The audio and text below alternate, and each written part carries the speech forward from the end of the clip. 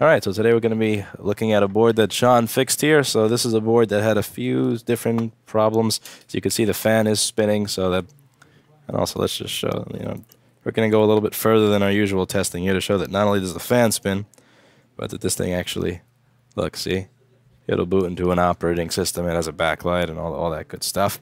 So that's booting into something there. Now, let's take a look at what it is that was worked on. So first things first is Thunderbolt was shorting a bunch of things on PP Bus G3 hot to ground. So over here we have a, a, lot of stuff replaced around the Thunderbolt area, a little few jumpers run, and also some touch up of the feedback trace. So we went over touching up the the corroded vias and the corroded probe points like this over here, like these these ones, and then we also went over some ISL 6259 area troubleshooting. So that is current sensing for the battery area. So this would not have been able to charge given its current current sensing circuitry.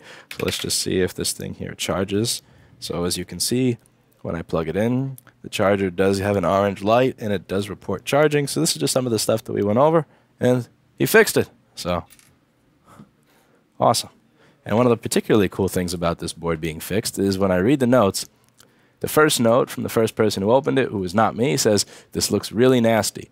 I won't even take the board out if it's not approved. If Louis sees this, he probably won't even work on it. I would offer data recovery. So, you know, it's pretty cool.